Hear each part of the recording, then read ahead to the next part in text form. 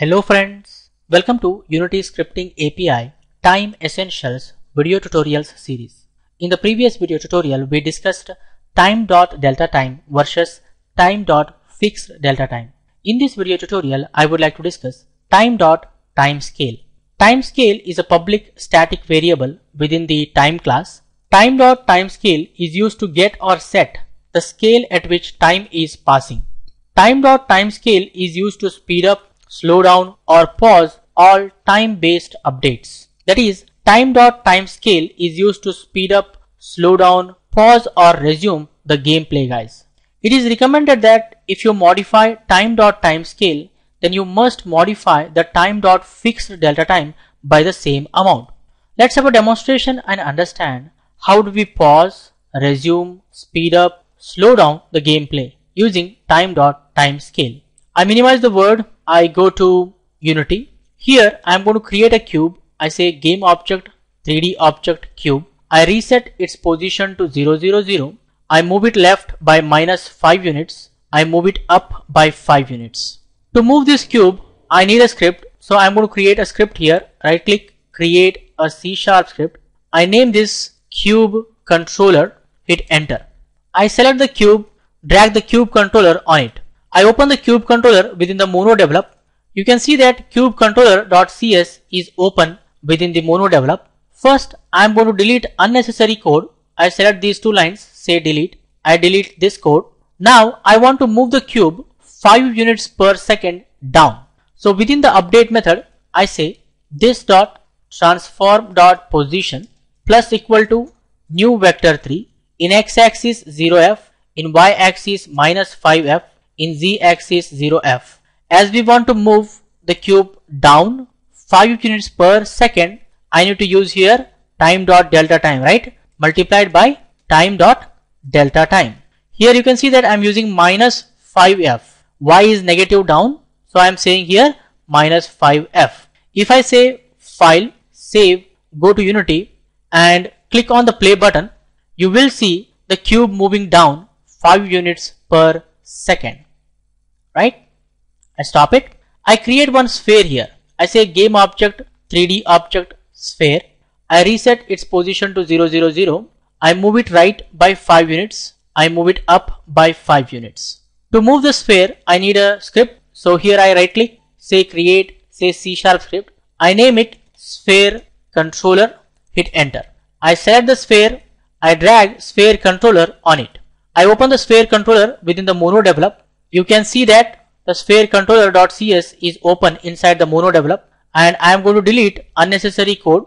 I delete this code from here. Here I say void fixed update opening flower bracket closing flower bracket. I want to move the sphere based on the physics update. So we need the same code. I'm going to copy this code from here and paste in the fixed update method.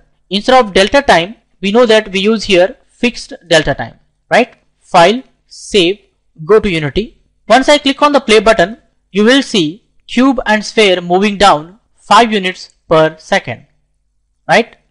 One is moving with the help of update method and the other one is moving with the help of fixed update method, right?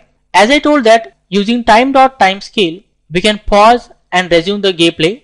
We can speed up as well as slow down the gameplay. To do that, I'm going to create one script, right click, create C sharp script. I name this as gameplay controller, hit enter. I attach this gameplay controller to main camera. So I select the main camera and drag the gameplay controller on it. I open the gameplay controller within the mono develop. You can see that gameplay controller.cs is open within the mono develop. I delete unnecessary code. So I'm going to select these two lines, say delete.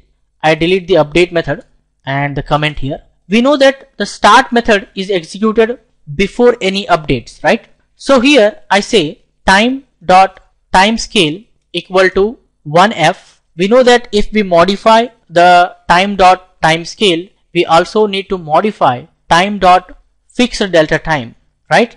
Here I say time dot fixed delta time equal to time dot fixed delta time multiplied by time dot time scale.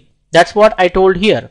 It is recommended that if you modify time dot time scale then you must modify the time dot fixed delta time by the same amount. That is what we are doing here. Okay.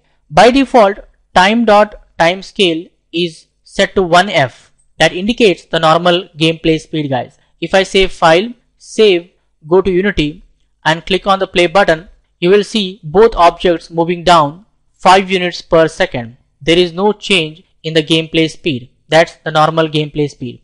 Now what I do, I am going to set this to 0f. If I set time dot time scale to 0f, then what happens? The gameplay is going to be paused in the beginning itself. If I save file, save, go to Unity and click on the play button, you see that the game objects are not moving. You can see that the game objects are not moving because the gameplay is paused. Let me stop and go back to the code. If I want to reduce the reduce the gameplay speed also. If I say here 0.5 then the gameplay speed is going to be half now.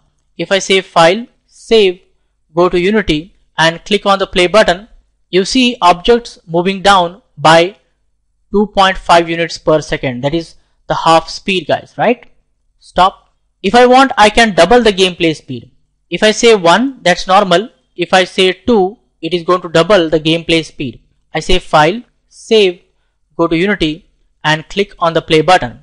You will see object moving, objects moving more faster, right? That is 10 units per second they are moving.